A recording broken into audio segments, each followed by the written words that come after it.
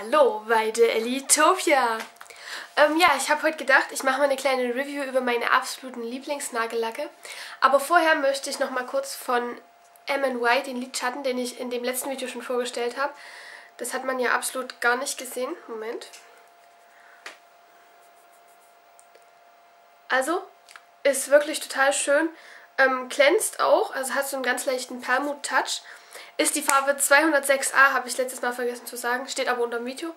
Ähm, ja, wollte ich nur noch kurz vorausstellen. Eigentlich Review über meine ähm, Lieblingsnagellacke. Und zwar habe ich mir davon letztem Jahr zwei ausgesucht. Ähm, einmal von Essence Go. Ähm, die Farbe 18 Check Me Out. Ähm, ja, ist ein helles Grün. Ist nicht ganz so deckend, wie man es wahrscheinlich vermutet, aber also so eine typische Sommer-Frühlingsfarbe glitzert soweit. Nein, glitzert auch nicht, also was ganz frisches. Ähm, dann habe ich von Manhattan Quick Dry und von Manhattan Crazy Colors ähm, in ähnlichen Pinkton. Also ich weiß nicht ganz genau, was es für eine Farbe ist, aber es sieht ähnlich aus. Ähm, ja, der schimmert noch ein bisschen lila mit und der ist eigentlich nur richtig kräftig pink. Ähm, ja, die sind von letztem Jahr. Heute kann ich sie leider nicht mehr drauf machen durch meine roten Haare, aber also zu blonden oder dunklen Haaren, wenn man wirklich auf was abgedrehtes, was steht, was total crazy ist, dann kann ich die beiden nur empfehlen. Also auch super deckend und ähm, hält super lang.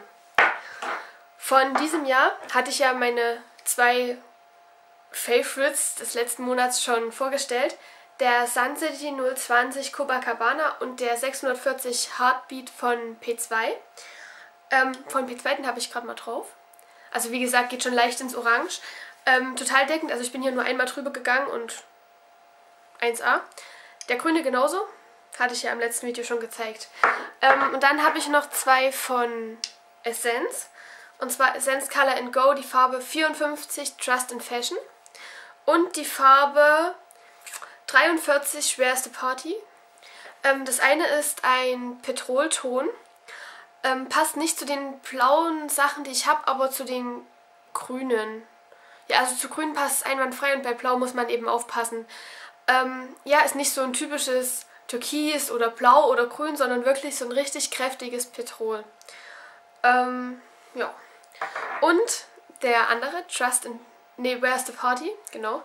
Ähm, ja, der schimmert. Moment, man kann es vielleicht sehen. Ja, ähm, mal lila, mal grün.